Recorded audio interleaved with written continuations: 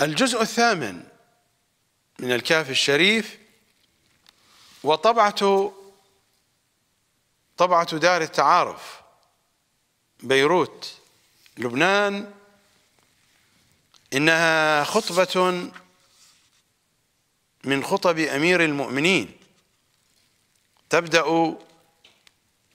في الصفحة السابعة والخمسين وتستمر إلى نهاية الصفحة التاسعة والخمسين. رقم الحديث 22 إمامنا الصادق صلوات الله وسلامه عليه هو الذي يحدثنا بهذه الخطبة العلوية الشريفة. الخطبة طويلة. أنا سأذهب إلى موطن الحاجة منها. أمير المؤمنين يظهر أسفه على عاقبة شيعته وماذا سيجري عليهم من أيديهم؟ هكذا يقول سيد الأوصياء ووا أسفا ووا أسفا ووا أسفا من فعلات شيعتي من أيديهم. ووا أسفا من فعلات شيعتي. من بعد قرب مودتها اليوم يتحدث عن أيامه. لا يتحدث عن عامة الناس ولا يتحدث عن العراقيين عموما في ذلك الوقت إنما يتحدث عن شيعته. ووا أسفا من فعلات شيعتي من بعد قرب مودتها اليوم كيف يستذل بعدي بعضها بعضا. إذلال كيف يستذل بعدي بعضها بعضا. وكيف يقتل بعضها بعضا. ويا أمير المؤمنين قد رأينا ذلك بأم أعيننا ولا زلنا نراه على أرض الواقع خصوصا في بلاد الرافدين. ووا أسفا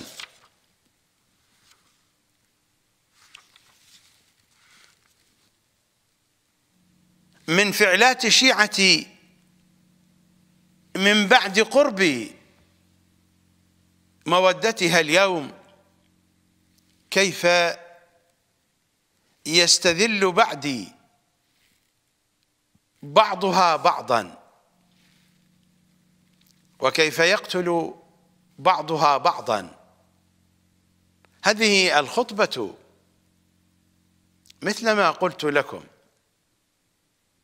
ليست موجهة للعراقيين إنها موجهة لشيعته.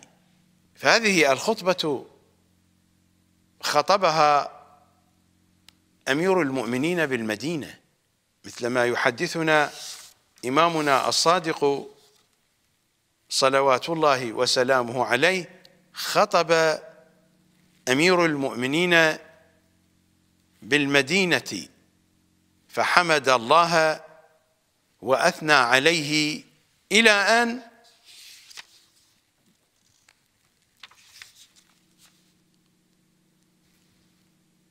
يصل بنا الكلام إلى هنا.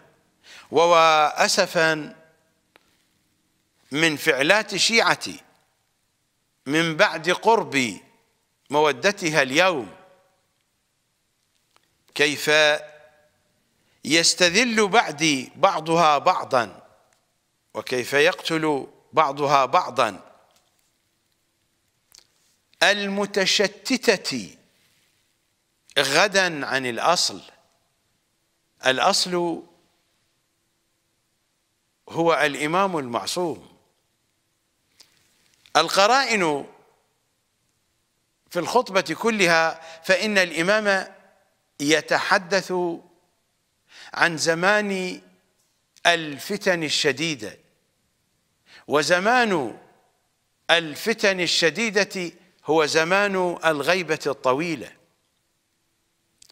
والتي يقول فيما يقول عن أحوالها أمير المؤمنين في الخطبة نفسها في الصفحة التاسعة والخمسين. ولعمري ليضاعفن عليكم التيه من بعد أضعاف ما تاهت بنو إسرائيل. إنها متاهة الشيعة زمان الغيبة الطويلة ومن أيديهم من أيديهم. وأسفا من فعلات شيعتي من أيديهم. ولعمري ليضاعفن عليكم التيه من بعد أضعاف ما تاهت بنو إسرائيل. أعود إلى كلام أمير المؤمنين الذي ما أكملته. وهو يتحدث عن شيعته المتشتتة غدا عن الأصل. يا علي يا علي النبي يخاطبه أنت أصل الدين. فأصل الدين هو الإمام المعصوم. الشيعة ماذا فعلت؟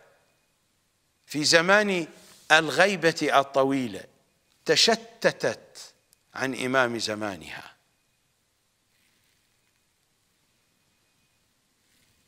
ومر علينا الحديث عن أن الإمام الحجة صلوات الله وسلامه عليه كاره للواقع الشيعي. مثل ما بين ذلك في الرسالة الثانية التي وصلت إلى الشيخ المفيد سنة 412 والمفيد توفي سنة 413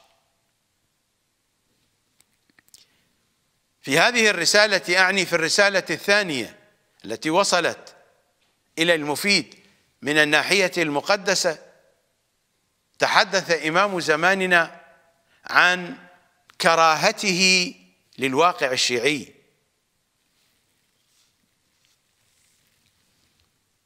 أمير المؤمنين قبل أن يتحرك إلى العراق في المدينة يتحدث عن شيعته عموما وهذا الكلام ينطبق بنحو أدق بنحو أوضح على شيعة العراق قبل أن ينطبق على شيعة أمير المؤمنين في البقاع الأخرى. فالإمام في المدينة يتحدث عن شيعته ولم يكن له في المدينة من شيعة كثيرين إنما شيعته كانوا في العراق حتى قبل أن ينتقل إلى الكوفة. سلمان المحمدي سلمان الفارسي مهد لأمير المؤمنين ما مهد حينما كان واليا على المدائن.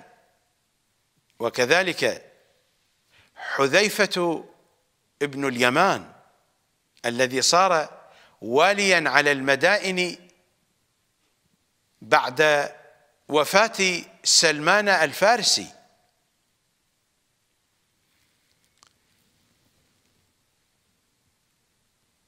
مالك الأشتر ومن معه من رجال أمير المؤمنين كانوا في الكوفة. الكوفة كان فيها من الشيعة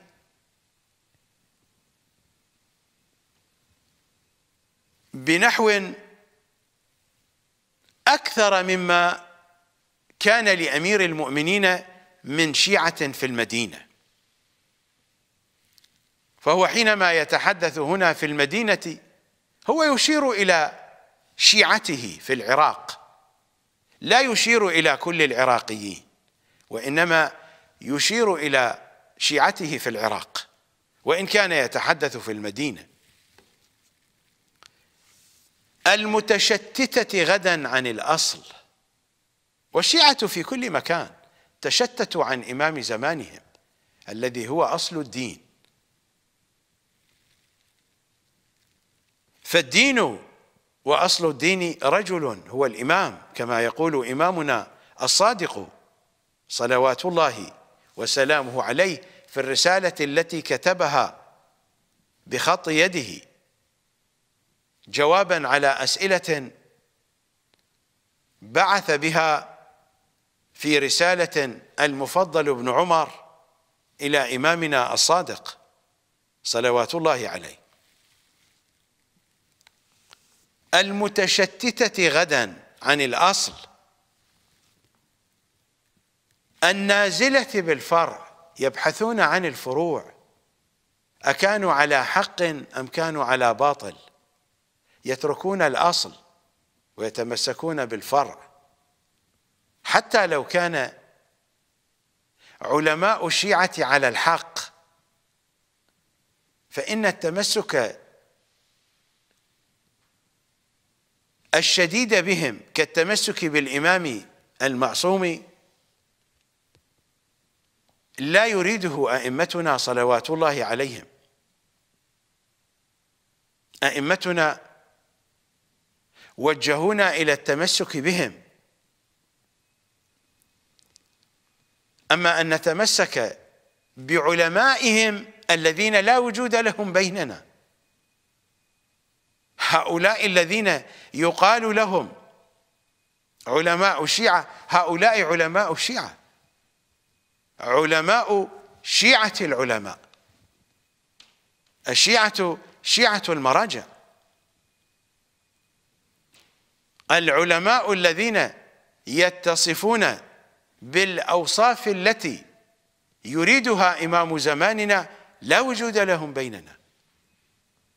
على الأقل أتحدث عن معرفتي بالواقع الشيعي.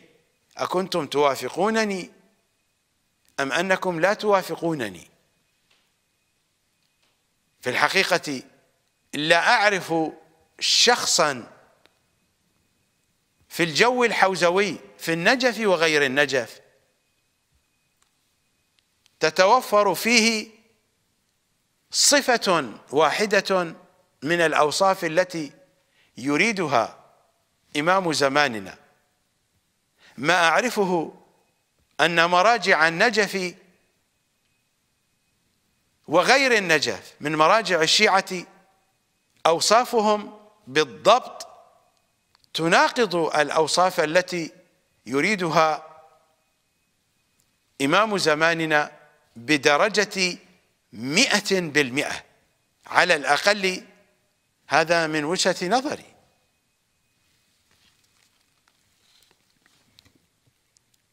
المتشتتة الحديث عن الشيعة المتشتتة غدا عن الأصل. النازلة بالفرع.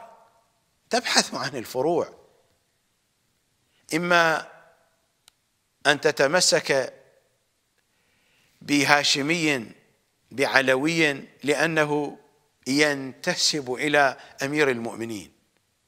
وما هو على منهجه؟ هو مرجئي بتري. أكان معمما أم لم يكن معمما؟ لأنه إن كان من الأحزاب القطبية فالأحزاب القطبية أحزاب مرجئية بترية مقصرة. هي مرجئية من جهة مرجعية النجف مرجعية الطوسي. ومرجئية وبترية وناصبية من جهة قطبيتها القذرة. فهذه هي الحالة الموجودة في واقعنا الشيعي.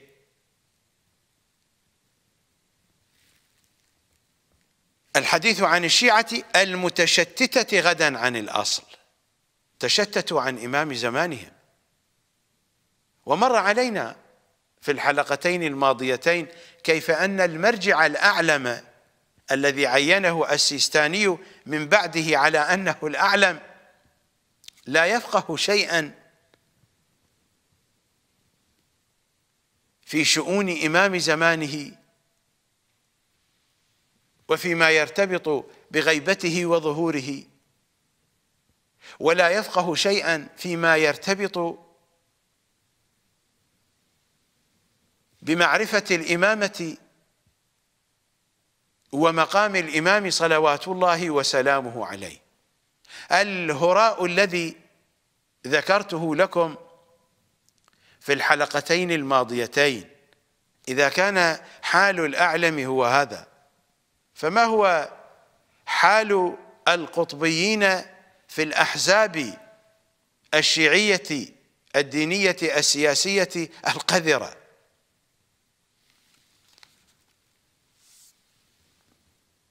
المتشتتة غدا عن الأصل. النازلة بالفرع المؤملة الفتح من غير جهته يتوقعون أن النجاح وأن الفلاح وأن الصلاح يأتي من هنا.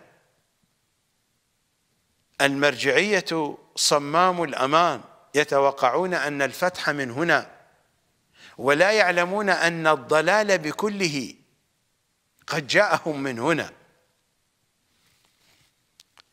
المؤملة الفتح من غير جهته. كل حزب منهم.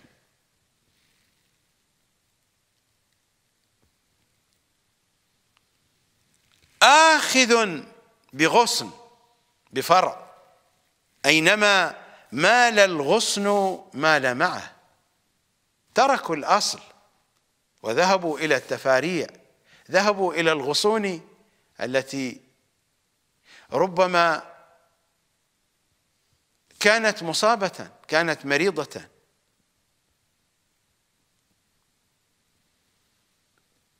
كانت قريبة من أن تسقط على الأرض. كانت قريبة من الجفاف وربما جفت كانت ذابلة. فهي لا ترتبط ارتباطا صحيحا بأصلها. هذه هي الغصون التي يتحدث عنها أمير المؤمنين. إنها الغصون المتكسرة على الأرض. إنها الغصون المتعفنة اليابسة الذابلة. التي لا تتصل اتصالا صحيحا بالأصل بحيث أن طعامها أن ماءها أن أملاحها تصل إليها. ووا أسفا ووا أسفا. من فعلات الشيعة من بعد قرب مودتها اليوم كيف يستذل بعد بعضها بعضا؟ وكيف يقتل بعضها بعضا؟ المتشتتة غدا عن الأصل النازلة بالفرع المؤملة الفتح من غير جهته. كل حزب وتقرأ أيضا كل حزب بحسب التقدير والإعراب. كل حزب منهم آخذ بغصن أينما مال الغصن مال معه والنتيجة هي هذه مثلما يقسم سيد الأوصياء ولعمري ليضاعفن عليكم التيه من بعد أضعاف ما تاهت بنو إسرائيل. وهذا الأمر يشتد شيئا فشيئا كلما قاربنا عصر الظهور الشريف. من مجموع الأحاديث والخطب والروايات فإن المرجئة هي التي ستهيمن على الواقع الشيعي. ومن رواية إمامنا الجوادي التي حدثنا بها عبد الأعلى الحلبي وقرأت ما قرأت عليكم منها فإن الكوفة تسيطر عليها المرجئة. ومن هنا يخندقون الخنادق المخندقة ويبايعون السفياني ويجمعون شيعة العراق وبعد ذلك يخرجون لقتال إمام زماننا.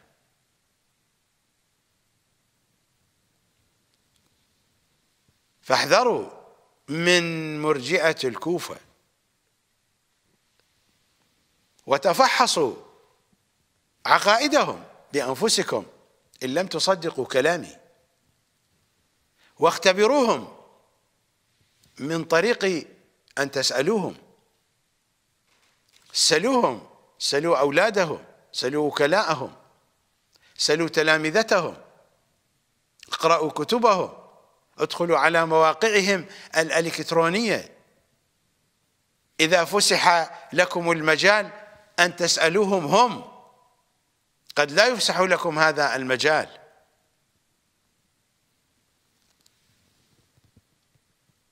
أعرفوا حقيقتهم فإذا ما عرفتم أنهم مرجئة بترية مقصرة إنهم نواصب الشيعه فاحذروهم على دينكم. سيضللونكم